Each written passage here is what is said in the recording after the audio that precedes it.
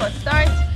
Are you crossing fingers? Knock on table three times. Put your lucky pair of socks on. What's going on here? Am I?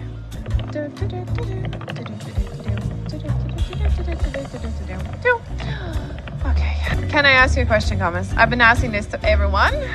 Yeah? Okay. It's about personal hygiene. Is that okay? Level five. Sure. Okay.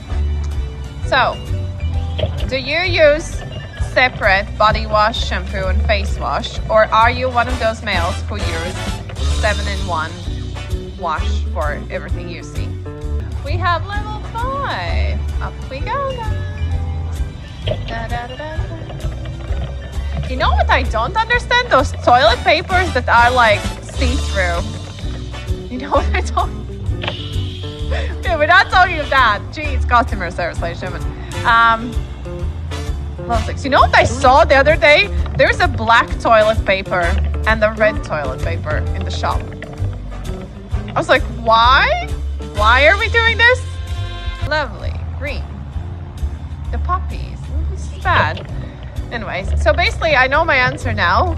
There's like four males walking this earth who uses something besides seven in one body wash. And gentlemen.